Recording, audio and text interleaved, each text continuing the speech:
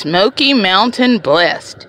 Those of you who aren't familiar with storyteller Donnie and his paintings, you may still have seen his sibling channel, Smoky Mountain Blessed, formerly Joy Blessed Life. If you've always wanted to visit Smoky Mountain towns like Gatlinburg or maybe even piddle around Pigeon Forge, Smoky Mountain Blessed will make you want to go for sure. Stand a little closer. You're leaning way too far over. There you go. Slow, easy. Oh, that's all right. Just um, don't take many golf lessons from Donnie. Want to see the places in the Smokies that the locals see? Pigeon Forge and Gatlinburg do draw lots of cool car shows, and Smoky Mountain Blessed is right there to bring them to us here in YouTube land. That's not it. there we go. The old fashioned ones, with that big old boat of fiberglass over an old VW frame. They also like to peep in on their neighbors. They're very nice neighbors. but Smoky Mountain Blessed doesn't always stay in the Smokies. With a little uh, cherry and a uh, whipped cream on it. Brownies drizzled with chocolate syrup and some confection sugar. Not sure what it is. Could have blueberries or something in it. Wherever they go, you can bet that if they travel, they'll take YouTube along on the adventure. So if you're thinking of walking the parkway or hanging out in a cabin hideaway. If you're doing it in the Smokies, Smoky Mountain Blessed is gonna find you. Cause I find you. no, not in that creepy way. But they're out there. Check them out. Cowboy C Bop. Knife. That's a knife. Hello, all you YouTubers. Thanks for tuning in. Take a quick walk with me outside. You get better light. I wouldn't walk out there with him if I were you. you ever see the movie Edward Scissorhands? Same thing. Sorta. I mean, there's no Johnny Depp.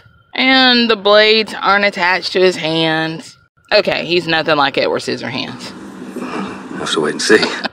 Cowboy C Bop does really cool salutes to famous blades. Just like a lot of you guys, he's been invited into your homes on the tube, you know, for what, four or five decades. First got started 1982. Actually, I've bought a couple of these knives quite a few times. I bought it, sold it, bought it, broke it, bought, bought it, sold it, sold it, bought it, broke it. Y'all better get that song copyrighted before he does. I haven't seen this in quite a while. I thought I lost it. Nope, I found it. This is number two, numbered as well. 1957 out of 9,300. I don't know. I can't. It's no secret that Cowboy C Bop So, loves I wanted something that was going to be a jack of all trades. Chops like a hatchet, stabs like a dagger, cuts like a kitchen knife. Does he collect them because of his love of preserving history? Or is it something more sinister? These blades and handles are precision art. Zoom, zoom. I mean, this is a gorgeous knife. And it has the, the black and white spacers. It's got the brass guard. The recurring theme on Cowboy C Bop is that there truly is a knife out there for everyone. Many increase in value through the years. Wouldn't it be cool to see a knife scroll across a Barrett Jackson screen and then you can say, I saw that knife on the channel's Cowboy C Bop? Check it out. Tiny 12 by 12 cottage garden. Any idea what this channel's about? Let's find out. making hugelkultur style raised beds in milk crates. You erode and break down, but as you guys know, leaves make black gold um, which is basically broken down leaf material, has so much nitrogen and potassium and carbon. And that is currently this channel's most popular and it's, a it's very just, popular And welcome video. back to my tiny 12 by 12. Today is the perfect example of an epic freaking fail, but it's a lesson learned and something you should know. Small space container garden ideas abound on tiny 12 by 12 cottage I'm removing the bricks. I put these here about two weeks ago to soften the soil. I added some rabbit manure, some old snapdragons. I covered the dirt up. It's dirt and sand, and I'm hoping that the beans that I'm adding to the cucumbers will add the nitrogen. Think you can't grow much in a community garden?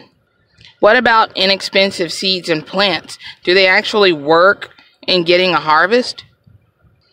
And she gives a lot of motivation and information to encourage everyone watching that they too can grow in a tiny 12 by 12 cottage garden. Check it out.